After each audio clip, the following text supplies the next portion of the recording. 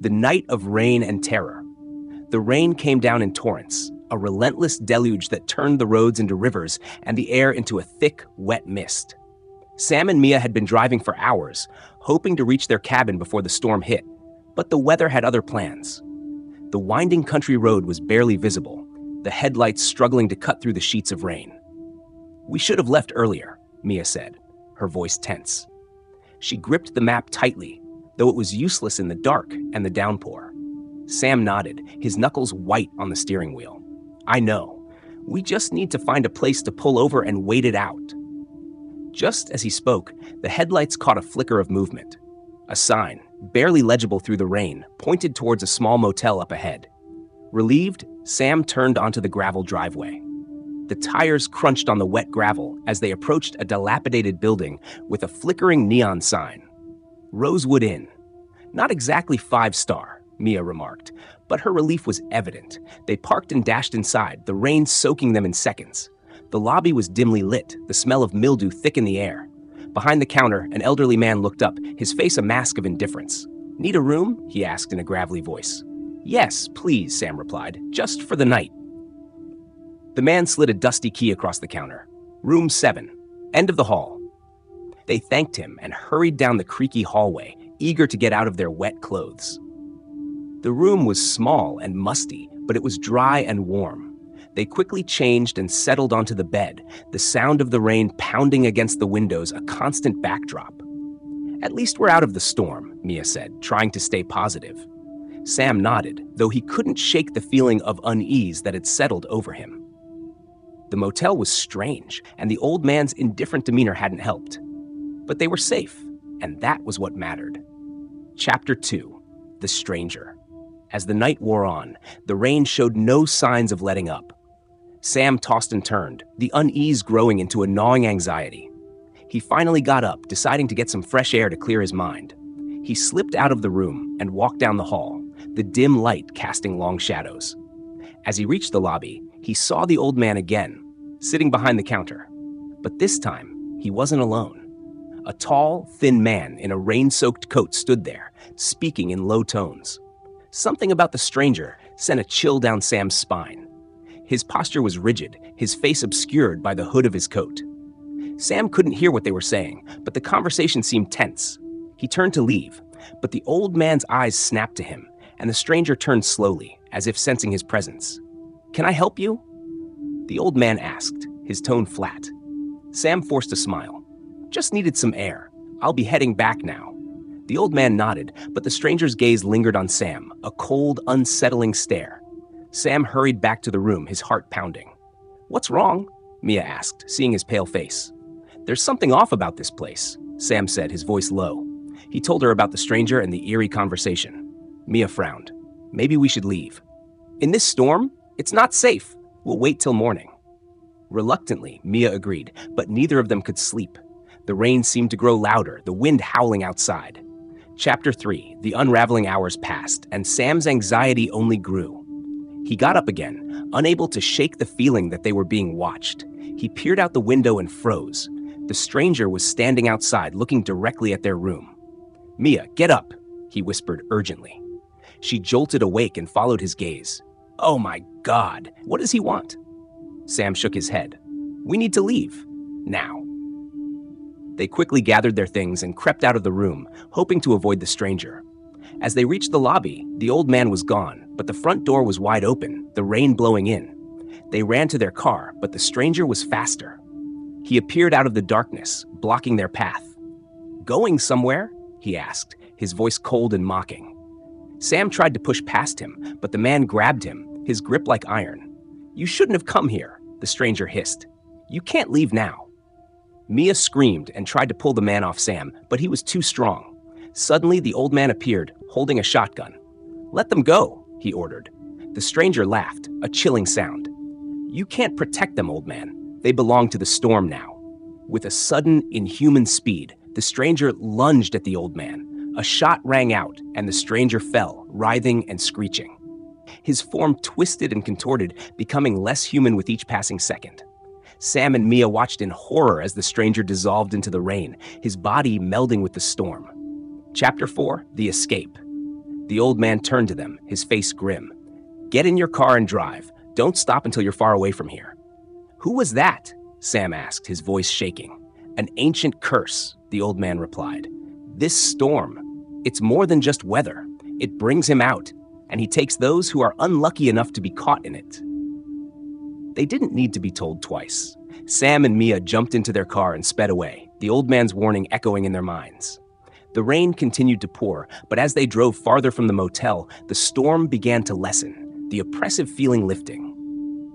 It wasn't until they reached the safety of their cabin, miles away, that they finally felt they could breathe. They collapsed onto the bed, holding each other tightly. We're safe now, Mia whispered, though her voice wavered. Sam nodded, but he couldn't shake the feeling of unease. As he drifted off to sleep, he dreamed of the stranger's cold, unblinking eyes and the storm that seemed to follow them.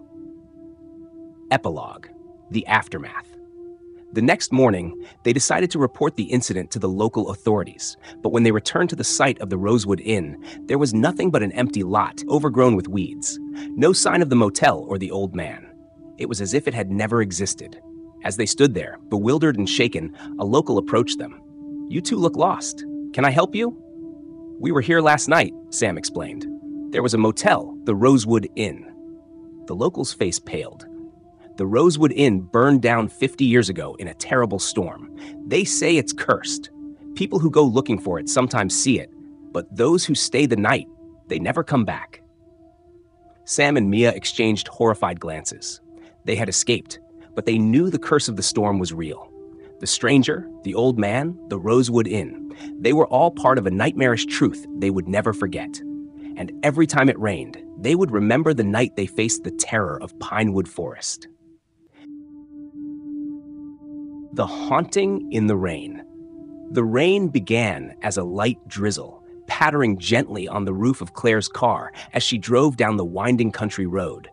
She had been visiting her grandmother and was now heading back to the city, hoping to make it home before the weather worsened. The radio crackled with static, unable to hold a signal in the remote area. The drizzle quickly turned into a downpour. Sheets of rain lashed against the windshield, and visibility dropped to almost nothing. Claire turned on her high beams, but they did little to pierce the darkness. She slowed the car to a crawl, gripping the steering wheel tightly. As she rounded a bend, she saw a figure standing by the side of the road, illuminated briefly by her headlights. A woman, drenched and shivering, with long dark hair plastered to her face. Claire's heart skipped a beat. She pulled over, rolling down the window slightly. Do you need help? She called out, the woman looked up, her eyes wide and pleading. Please, she said, her voice barely audible over the rain. I need to get to town. Without thinking, Claire unlocked the passenger door. Get in. The woman climbed into the car, shivering violently. Thank you, she said, her voice shaky. I didn't think anyone would stop. No problem, Claire replied, though she couldn't help but feel a sense of unease. What were you doing out there in this weather? I had an accident, the woman explained. My car went off the road. I've been walking for hours. Claire nodded, but something about the woman's story didn't quite add up. They drove in silence for a few minutes, the rain pounding on the roof like a thousand tiny hammers. Claire glanced over at her passenger, noticing for the first time how pale and cold she looked, almost translucent. What's your name? Claire asked, trying to make conversation. Lily, the woman replied. Lily Harris. Claire's heart skipped another beat. The name sounded familiar, too familiar. She racked her brain, trying to place it. Chapter 2 The Realization. As they approached the outskirts of town, Claire remembered a news article she had read months ago about a young woman named Lily Harris who had disappeared during a storm just like this one.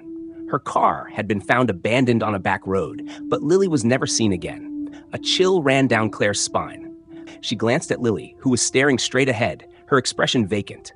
Did you say your name was Lily Harris? Claire asked, her voice trembling. Yes, Lily replied, not looking at her. Why? Claire's mind raced. I read about you. You went missing months ago. Lily turned to look at her, her eyes filled with sorrow. I did. And I never made it out of the storm. Claire's blood ran cold. What do you mean? I died that night, Lily said softly. I've been trying to find my way home ever since. Chapter 3 the revelation. Claire's heart pounded in her chest. She wanted to stop the car, but her hands wouldn't obey. The rain seemed to grow louder, drowning out all rational thought. Why are you here now? Claire whispered. I don't know, Lily replied. I just need to get home. The car suddenly lurched and the engine sputtered. Claire pulled over, her hands shaking. She turned to Lily, but the passenger seat was empty. Water pooled where she had been sitting, and the car was filled with an icy chill. Terrified, Claire fumbled for her phone, dialing the number of the local police. I I picked up a hitchhiker, she stammered. Her name was Lily Harris. She she said she was dead. The officer on the other end was silent for a moment. Stay where you are, he said finally. We're sending someone out. Claire sat in the car, shivering and wet, waiting for what felt like an eternity. Finally, a patrol car pulled up behind her. The officer approached, his flashlight cutting through the rain. Miss, are you okay? he asked. Claire nodded, tears streaming down her face. She was right here, I swear. The officer looked at the empty seat, then back at Claire. This road, it's where Lily Harris disappeared. You're not the first to see her. She appears to those who need help, guiding them to safety. Claire stared at him, her mind reeling. But why me? The officer shrugged. Maybe she sensed your kindness. Maybe she needed someone to hear her story one last time. As the rain began to let up, Claire felt a strange sense of peace. She knew she would never forget this night, the night she met Lily Harris, the ghost who guided her through the storm.